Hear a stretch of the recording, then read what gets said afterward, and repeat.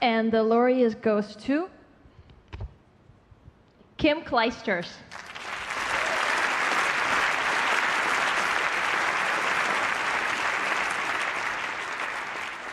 Unfortunately, Kim can't be here tonight, but she sent us this message. Hi everyone. Um, I really wish that I could have been there to uh, to pick up this trophy in person. Um, we're actually, uh, you know, in the middle of being potty training, and uh, you know, not myself, but obviously potty training my daughter, um, and packing our bags for uh, to leave to Indian Wells.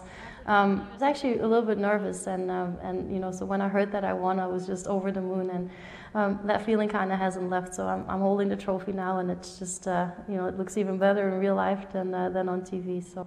Last year was a very special year for me, winning the Open um, after um, you know only my third tournament being back.